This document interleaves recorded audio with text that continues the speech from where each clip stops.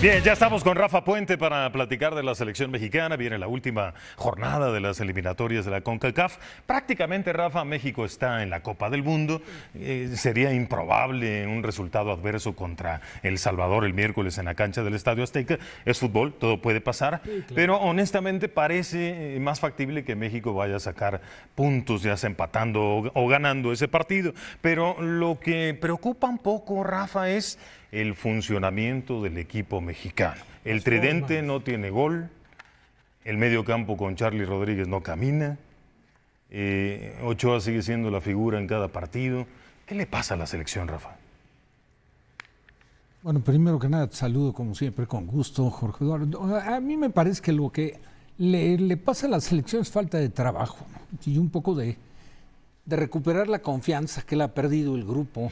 Yo siento que los jugadores se han quedado bastante lastimados de los antecedentes, sobre todo contra Estados Unidos, ¿no? Porque como jugador sí entiendes que tu rival en turno, el con el que hay el gran pique, es con Estados Unidos. Y si te vence como sucedió en los tres duelos anteriores a este último, la esperanza del equipo mexicano estaba muy centrada en conseguir esa victoria en el Estadio Azteca y que la verdad no la merecía.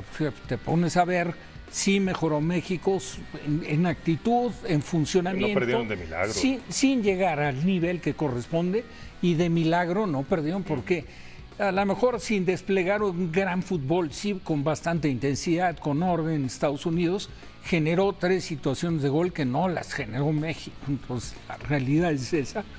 Y lo que le hace falta al equipo, en mi opinión, es, es recuperar confianza y trabajo, ¿no? Y aparte en obligación del Tata, sí me parece que de acuerdo al fútbol actual, no te puedes cerrar en un solo esquema táctico, tienes que tener variantes, alternativas, configurar tu planteamiento de diferente manera, a lo mejor pensando cuál es el parado del equipo que vas a enfrentar o en el desarrollo del mismo partido, ¿no? Hay, hay estrategas que han estado en selección, el caso de Ricardo Lavolpe, ¿no? Yo siempre ejemplifico con Ricardo, porque tenía, siempre ha tenido ese don, ¿no? De, de, poder corregir de un parado y modificar sin que lo resiente el equipo y sí encontrar la respuesta que está buscando el técnico. Ahora, Rafa, sabemos de los problemas de salud de, de Gerardo Martino. ¿Da para más el proceso del Tata Martino? Eh, ¿Puede corregir cosas sobre la marcha? El Mundial está a la vuelta de la esquina, Rafa. No sabemos las condiciones de, de, Tata Martino tiene el problema del ojo, no sabemos si, si él quiera seguir también con el proyecto. Te pregunto, Rafa, ¿da para más? Bueno, da para más, pero no es solo del Tata, es del Tata y del plantel, de los jugadores.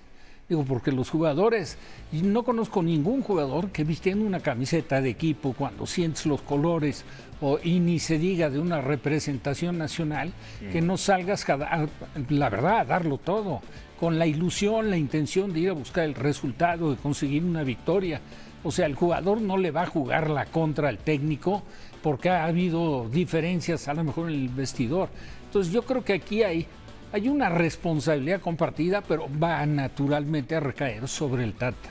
Veo difícil que pueda corregirlo, no lo veo para nada imposible, porque sí tiene un periodo de 6, 7, 8 meses uh -huh. para el Mundial no van a ser muchos los partidos, pero yo en el entendido de que el jugador recupere el nivel y que llegue con una, una postura, una mentalidad diferente ya a la competencia mundialista.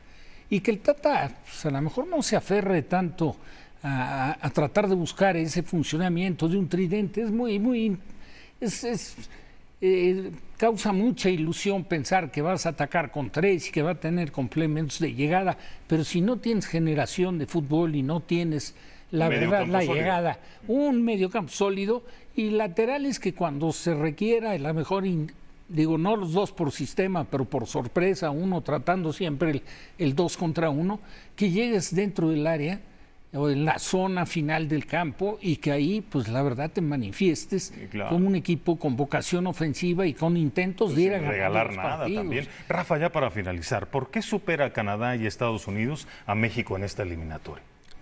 Bueno, pues lo supera porque ha trabajado mejor. Yo creo que, que eh, primero la mentalidad que ponen, ¿no? A mí me parece que, que Estados Unidos y Canadá eh, a México sí lo han superado en ese renglón, ¿no? Mm. De ir con un pleno convencimiento y ellos apostando por lo que dominan, ¿no?